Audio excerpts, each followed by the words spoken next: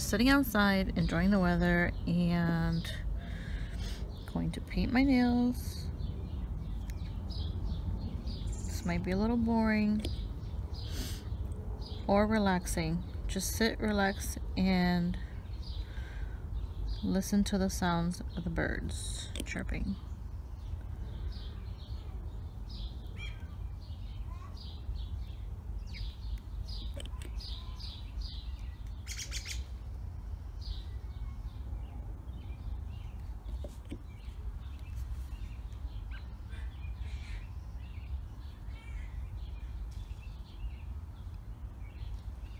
This is a base coat I use um, from Sally's. I've been buying it from there.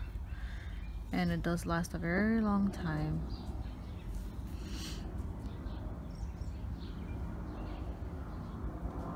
I'm going to paint my nails using this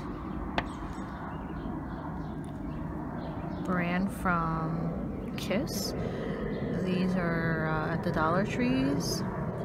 I'm going with this peach tone and I might just use Seche Vita as the top coat. I don't have the that brand of top coat available so I think it should be okay.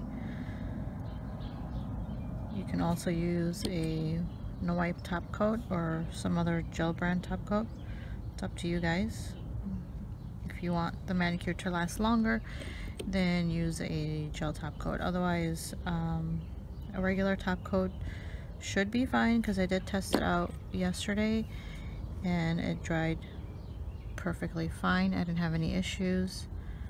But since I change my polish so often, every few days, it's not, it just doesn't make sense for me to use gel. So, okay. So that's gonna dry and then we're gonna put our first layer of this on. Let me see if I can zoom in a little bit.